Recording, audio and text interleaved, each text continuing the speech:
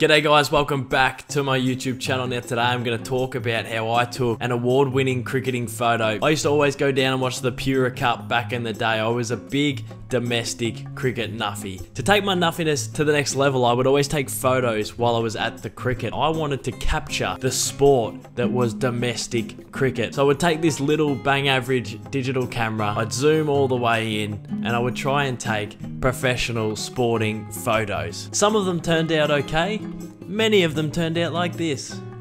And this.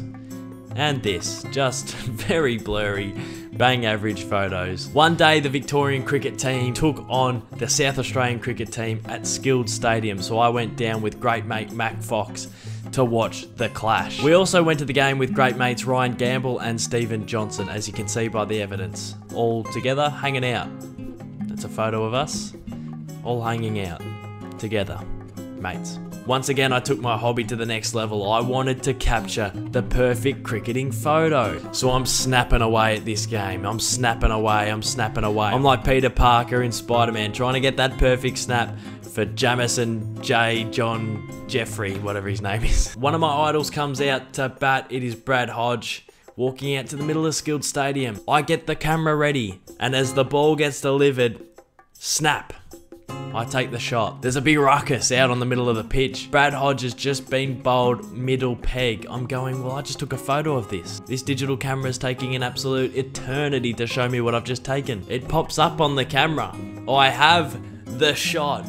Brad Hodge being bowled middle peg. The ball is on the middle stump. The bails are flying. Brad Hodge is just in all sorts on the pitch. I was shattered for Brad, but pumped for myself.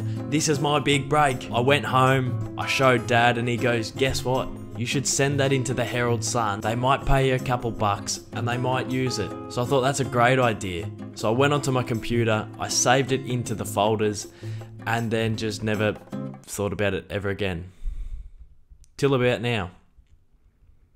Anyway, guys, thanks for watching my little ramble about cricket and cricketing photos. I appreciate all the support. I appreciate everyone getting around the content. And I'll see you all for some more videos very, very soon.